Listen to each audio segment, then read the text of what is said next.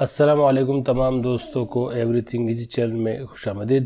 دوستو، آج رپورٹ جاری کیا گیا ہے۔ جوازات کی طرف سے رپورٹ کے ساتھ ساتھ آپ لوگ دوستو دمام میں آج جو انٹیلیجنس بیس پر کاروائی ہوئی ہے، کاروائی بھی آپ لوگ ساتھ میں دیکھیں اور یہ رپورٹ بھی سنیے۔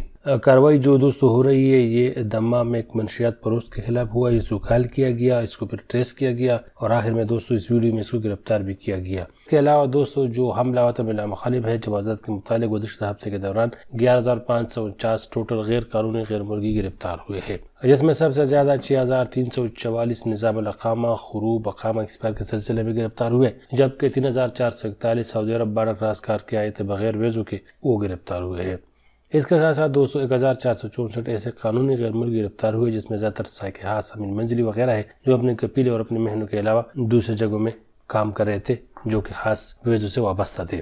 اس کے ساتھ ساتھ دو سو سترہ سعودی مہاجرین بھی گرفتار ہوئے، جو کہ مختلف طریقوں سے غیر قانونی لوگوں کا ہیلپ کر رہا تھا۔ سعودی وزارت داخلیہ کے مطابق ٹوٹل تعداد پچیس ہزار ایک سو اٹھائیس جس میں بیس ہزار سات سو چھتر آدمی اور چار ہزار تین سو باون عورتیں ہیں۔ میں سے سولہ ہزار چھ سو سات غیر قانونی غیر ملکی جو اس وقت جیلوں میں ہے اس کے سفاروں کے ساتھ رابطہ کیا گیا آؤٹ پاس کے لیے، جبکہ ایک ہزار تین سو چھتر کو گزشتہ ہفتے کے دوران آؤٹ پاس، پاسپورٹ اور ٹکٹ مہیا ہو چکے ہیں۔ جبکہ سعودی وزارت داخلیہ کے مطابق گزشتہ ہفتے ہی کے دوران چھ ہزار پانچ سو پینتیس ٹوٹل غیر قانونی غیر ملکی اپنے ملک ترخیر کر دیے گئے ہیں جو کہ دوبارہ سعودی عرب کسی وجہ پر نہیں آ سکے گے المصدر؟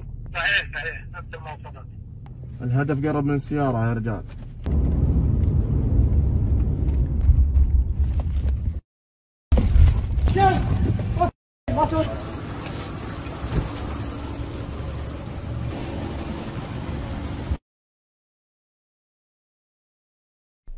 قبضت المديرية العامة لمكافحة المخدرات بالمنطقة الشرقية على مواطن لترويجه مادة الميثامفيتامين المخدر الشابو وجرى إيقافه واتخاذ الإجراءات النظامية بحقه وإحالته إلى النيابة العامة.